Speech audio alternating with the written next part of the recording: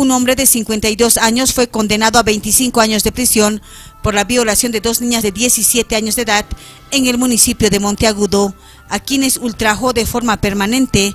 Al haber confesado el hecho delictivo, se sometió a un proceso abreviado, explicó el fiscal Juan Carlos Trigo. Es evidente, se ha sometido a un proceso abreviado el señor Calixto, de aproximadamente 52 años de edad, quien eh, ha aceptado culpabilidad conforme al artículo 373 del Código de Procedimiento Penal eh, sobre un hecho de violación.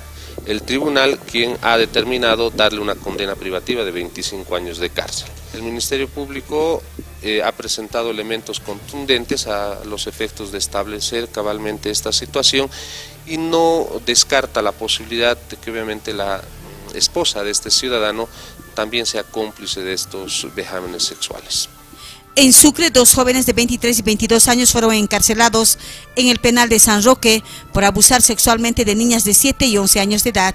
La información fue brindada por el director departamental de la Fuerza Especial de Lucha contra la Violencia de Chuquisaca, coronel Gustavo Llanos, quien informó que la niña de 7 años fue atacada en su casa por un joven de 23, amigo de su padre, luego de que ambos consumieran bebidas alcohólicas. La agresión se registró el 1 de julio y el padre de la niña fue quien presentó la denuncia. La víctima es una menor de 7 años de edad y el denunciado es una persona de 23 años de edad. Situaciones que la menor en ese instante estaba en su dormitorio descansando. Es así, es ahí donde el amigo que también estaba en estado de ebriedad va al cuarto de la menor y se acuesta al lado de ella.